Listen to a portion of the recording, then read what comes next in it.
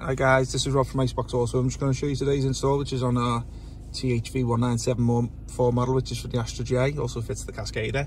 Um, will replace the CD400 and it will work in some cars, but not cars, with the Infinity sound system. So this is our latest Android 12 system, which we've put in today, which has got CarPlay and Android Auto built into it. It also comes with a 4G SIM card input as you can see we've got the connection on there and also you can connect your phone as a hotspot so I'll just give you a little run through what the system's got today it's obviously there's the uh, Google uh, map side of things there you can download any maps of choice from the Play Store and assign them onto the homepage here there's your radio FM AM radio here which works with the steering wheel controls as you can see there just load it down for the for the video this is your back-end settings, this is your applications. As you can see, it's nice and swift and responsive. Comes with an 8-core processor, 464 gig standard.